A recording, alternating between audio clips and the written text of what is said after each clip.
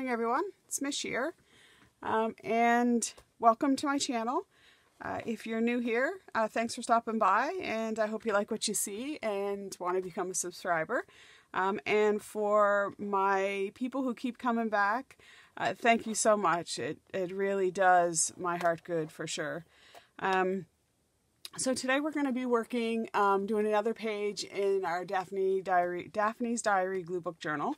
Um, if you are new here, um, this is just a, a glue book um, with a twist, I guess, um, that I've been working in, um, well, I don't know how long now, quite a few months.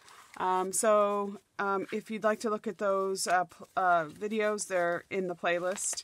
but today we are going to be working uh, out of issue number seven, which is the latest edition. Today is November, um, I always forget and have to look at my phone. Today's November 6th, um, and this will air um, this Friday.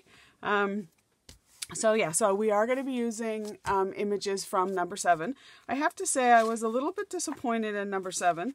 Um, from my point of view, it's still great, and there's still a lot of good articles and stuff, but kind of from a glue book point of view, um, I just felt a little bit limited. I do think these mushrooms are gorgeous.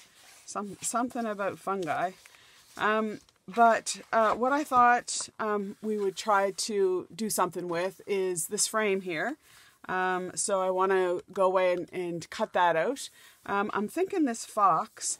I had a look through and there wasn't a lot of other animals. There's some birds, but um, and I love the little animals um, that she often puts in. But um, so do something with this and with that.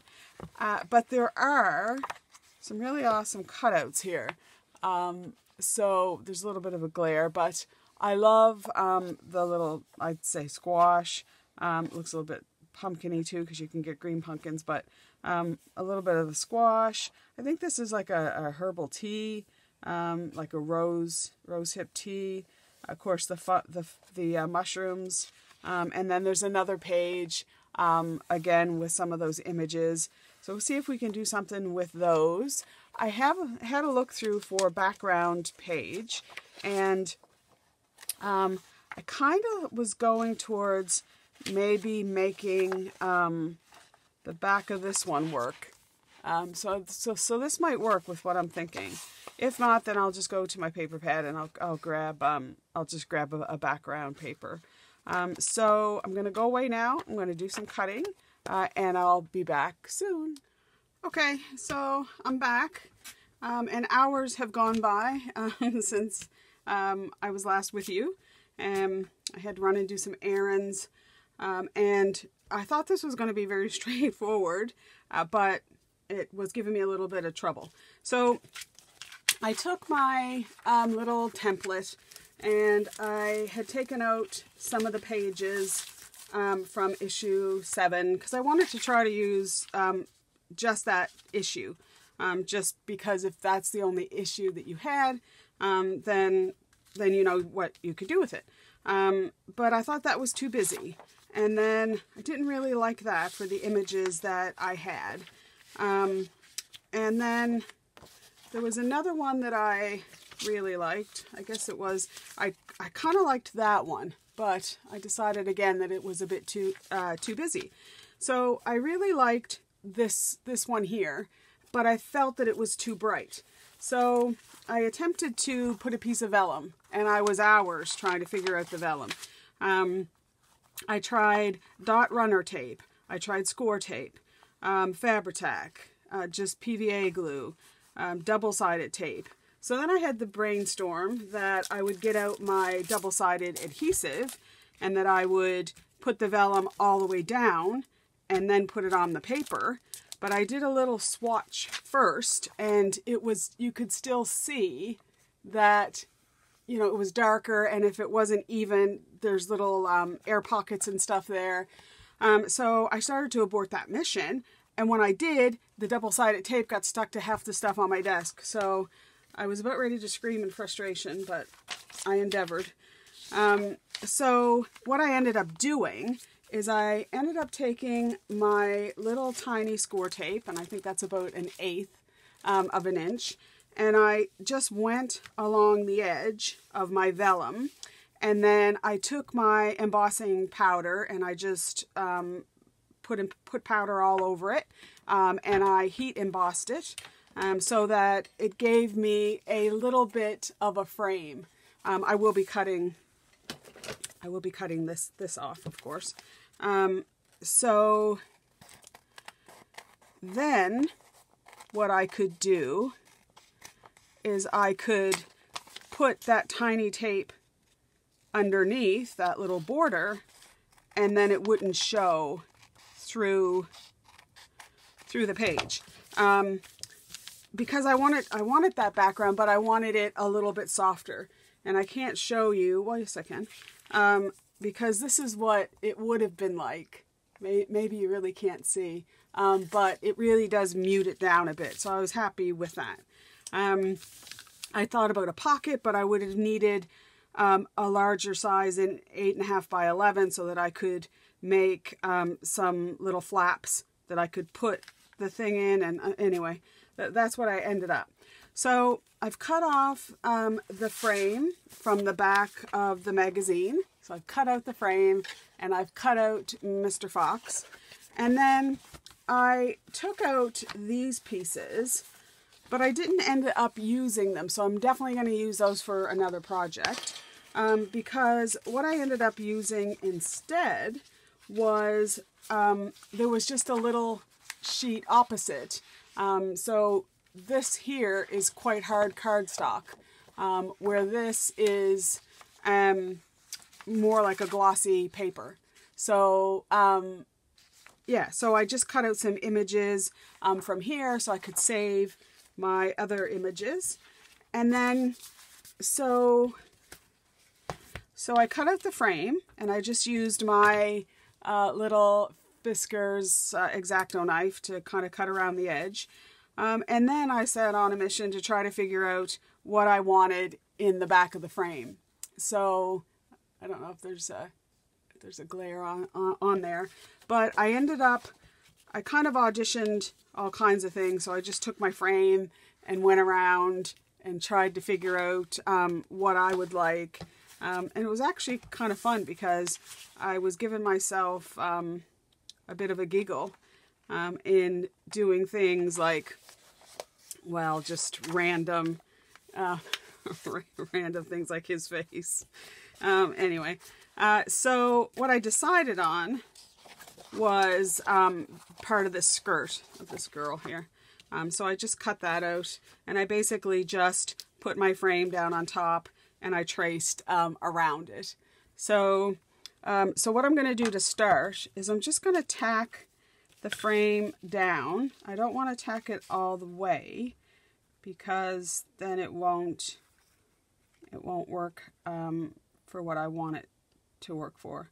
So I'm going to tack it kind of at the top and I'm just using some PVA glue which is fine because I just want to get it um, so that it's just not that it's going to be there in the background it's not going to fall off until I'm finished with my collage. So the other item that I've come up with is I cut out Mr. Fox. Um, and I do want to, just bear with me one second, I want to grab my ink. I just want to go, I don't really want to distress it, but I want to get rid of that uh, white line. So that's too light. Um, so that so that it blends in better uh, with the background. So I'm just going to go along and just kind of fluff them up a little bit and get rid of that little line. Doesn't have to be perfect. Um, and when I cut him out, I cut him close because there was still other things in that image that I might want to use. So, um, and it's funny because he fits in there almost like a glove. So I was really happy with the way he's he's sitting there. So I'm going to get him in place because I don't think I'm going to put much behind him. And I'm going to cut off this little bit there. So I got him in the frame. And then this pumpkin came from that sheet that was glossy. Um, there was a string attached and there is a hole there. But that's okay because I'm going to set that with the underneath him. So I'm just going to put a little, I'm just putting a little bit of glue in the center in case I want to tack something underneath it. But I want the pumpkin sort of in the frame like he is, but also coming out of the frame. Okay, so we froze there for a minute. Um, so, but yeah, so we got the pumpkin down there. And then I just went around and cut some more images out. So before I do anything else, I kind of have to decide where I want this on the page. So I am going to put a little saying down there. So I think I'm kind of happy with him right there. I am going to use some Fabri-Tac because it is vellum and vellum is plastic. Um, so I just want to make sure um, that it is going to stick. And for now, I'm just going to put some in the center so that I can tuck things around the edges. And then later on, I can firm things down. Um, so I'm thinking that I'd like to have it around there, I guess. So we've got that down. So I then went and cut out this leaf, and the leaf does have um, a page number and some printing, um, but, but that's fine. I think I can hide it kind of in, if I come along kind of there. Um, and then I had another leaf that I thought we could kind of tuck in there. Kind of up like that maybe. And then down here, or actually here, I wanted to mask him a little bit because um, because there is a little bit of a cut there and stuff. So I was thinking to use some of these, like he's kind of sitting, he's sitting in the bushes. And then and then I could use this one in some way. Let me see. I might not even need two of those. Although I could just, I'm not sure, but I kind of like how that is sitting because it makes it, and I'll put that branch, oh, that, that'll work. I'll put that branch right in behind the tree. And then I'll have him like that. But what I think I might do is a little bit of white there. And when I'm collaging, oops, sorry, all that racket, I, you know, try not to get too bogged down in the minute details. But sometimes, and excuse my head if my head's in the way, um, something might catch my attention and then I might just be looking at it. So I'm just going to use my little sharp pen to cut that little notch out. There we go. Um, and pray that I don't wreck it. Okay. Because sometimes these little fiddly things, um, you're better off just leaving. You could go over it later with, I don't know, a marker or something. But I am, um, there's a little bit here that I think I tried to cut off before. Right there. If you want to get, if you want to stay true to the, the fussy and the fussy cut. But sometimes you just got to let go and realize it's, you're not, you know, you might not be perfect. Which is sometimes hard for us to, to, uh, to take. Okay, so, right, so I'm going to put that down. And I, I don't mind that the back is, is like that. I think it's going to give dimension once it gets into the, the book. And I will um, glue it down better. But I'm thinking to grab that. I have arthritis in my thumbs. And sometimes grasping something is um, is a little bit difficult. Kind of thinking something like that. Yeah, I think I like that. All right, so I want to get this part of the stem down. And uh, I could probably use Fabri-Tac because I'm not sure if this will stay. But let's try the the PVA. It'll definitely the P, PVA will definitely hold um, the paper on paper, but it might not stick to vellum.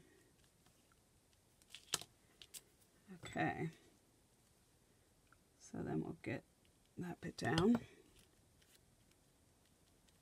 Because the thing with um, Fabri-Tac is it dries clear, but it dries shiny.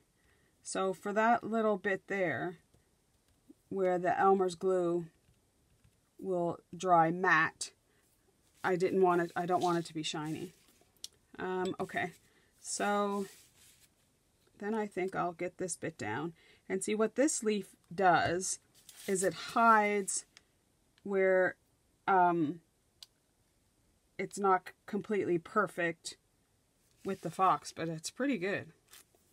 Um, okay, so we got that down. And then for the pumpkin, I kind of thought to put some more things that were in that picture, like um, maybe a, a, pine cone and that hazelnut. And then there was a, there was another pine cone. We could put the smaller pine cone there and make this sort of like an uh, um, autumnal um, photo. I kind of like that there because this one's a bit bigger and darker. Um, so we could put that kind of up in there or on top. Kind of like a cluster on top. No, I don't like that as much. And then we have one of these is this a star, a star uh, anise, I think it's called? Um, where we could put that in. And then what else I have is a acorn and another, is that a hazelnut? And then I have another one of these branches. So maybe, no, it takes it too much out of frame. I could stick that under there. Or I could, oh, that, that might work. If I, what if I cut it and then make like it's part of, of that? Like there. Yeah, I kind of like that. I do like that. Okay, so get that down. Get that down there. It's a nice sunny day here in Halifax. Um, when I woke up this morning, it was about zero degrees, I think, Celsius. Um, but now, I don't know, I'd be tempted to say it's maybe 12 degrees. I, st I went out, when I first went out, I had my heavier jacket on, and by the time I come home, I had taken my jacket off, so I had just ran out to do a couple things. I had to go to Costco. Um, I think that's coming along pr pretty good. Um, okay, so what about, I want to put that there sort of to cover his, um, his paw. And then maybe like that. Put that kind of in the background.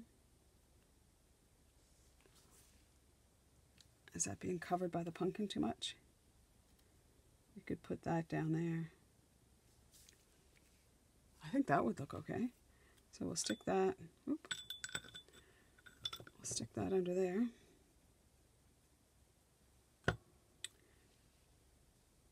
Like so. And then this guy, oh, I think that, that would work like that. have him peeking out. Or what about an acorn? Kind of off at a, an angle, like it's kind of resting on there. All right, let's make a decision about this pine cone down here.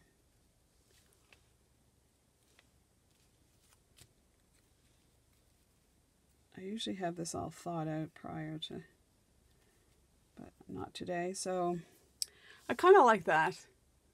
Do I? Do you ever get those times when you're just so indecisive? Just make a decision, honey. Because I think this is a little bit too big and too dark, unless I turn it kind of this way. And then maybe make a little collage with that and that piece. Oops. I um I'm not on social media very much. I mean I do my my little bits and bobs here. Oh, I kind of like it like that. Kind of just sitting on there. Yeah. Maybe that one. Um, but I went on social media this morning for a minute and realized Matthew Perry had died. I find that very sad. He was uh, definitely part of my youth, friends, and all that. He um, he said in an interview once that he knows when he dies that um, he will be known for friends, but he wished that he would be known for the work he tried to do around addictions. Um, yeah, so it's kind of sad. I think I like it like that. Yeah, I think I'm liking that and I, I think I'd leave it at that. I mean, we could keep adding stuff, but, um, so I'm going to put this little pine, cone down. the other thing I cut out, because sometimes I think it's good to have a little whim whimsy in your life, is I cut out this spoon. And I thought, just as a random thought, I would stick that spoon, stick the spoon in there. And then I, I had these carrots and these apples too that I thought might, might work well to kind of cover up that space there. But you don't have to cover up every bit of space.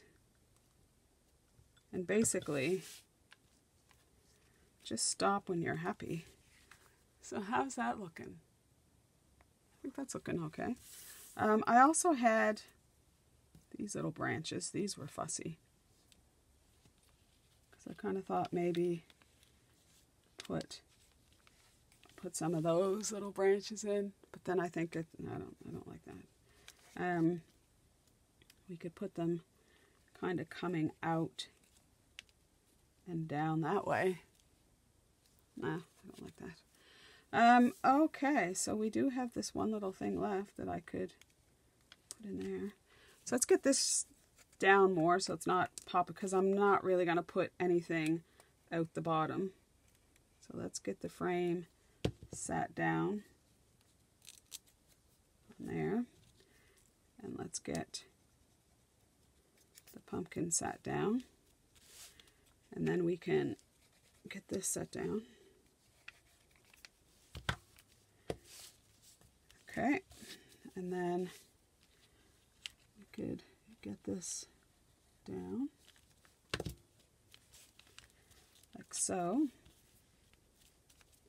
And then, you know, if I find something that I think would add to that, kind of thinking, I don't know. Um, I think that's probably good waffling around here.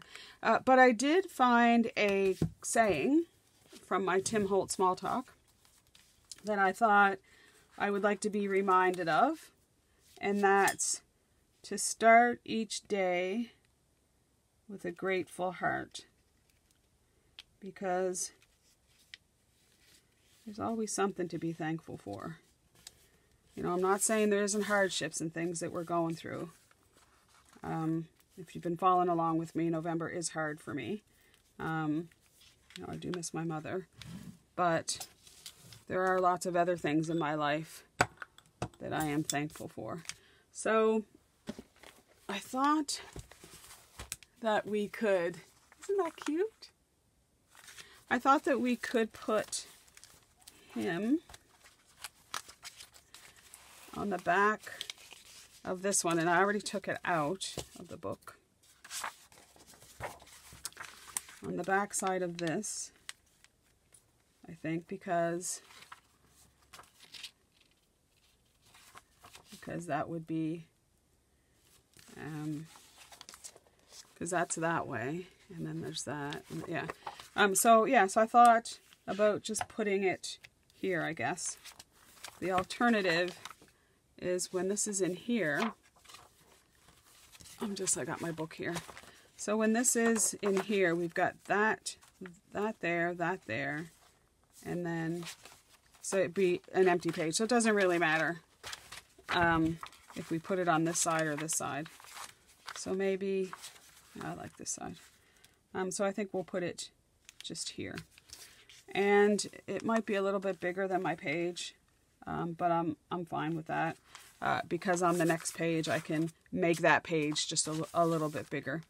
Um, so I'm going to adhere this, but do I want the top the bottom?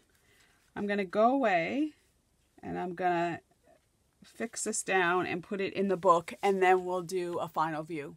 Okay, I'll be right back. Okay, so I've managed to get them in, um, get them tacked down. And as you're going along, dum dum dum, and there he is, Mr. Fox.